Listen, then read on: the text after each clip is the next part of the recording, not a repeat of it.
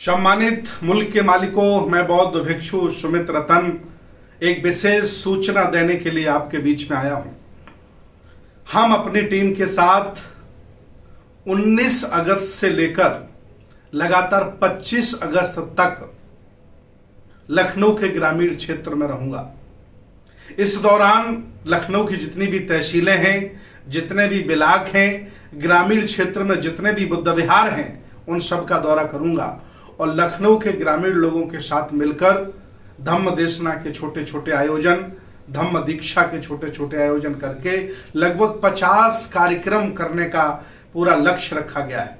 लखनऊ लखनऊ के ग्रामीण क्षेत्रों के कुछ लोगों से वार्ता हो गई है और कुछ लोगों को मैं अपील कर रहा हूँ, निवेदन कर रहा हूँ कि मेरे सात दिन का सदुपयोग करिए।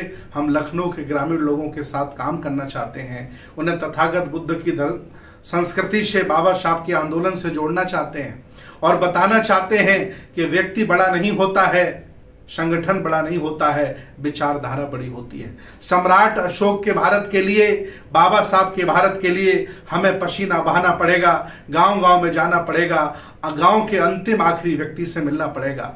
गाँव के लोग शिकायत करते हैं कि कोई प्रचारक, बौद्ध भिक्षु गाँव में नहीं जाते, मैं आ रहा हूँ।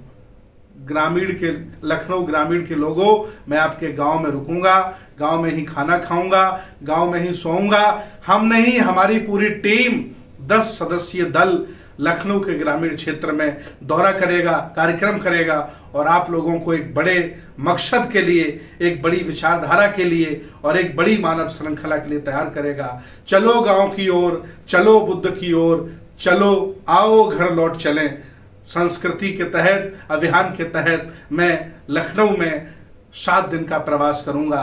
आप सभी लोग कार्यक्रम तय करें, हमें सूचित करें। मैं आ रहा हूँ लखनऊ के ग्रामीण क्षेत्र में और आपको आंदोलन से जोड़ने का पुरजोर प्रयास करूँगा। बहुत बहुत साधुवाद बहुत बहुत धन्यवाद।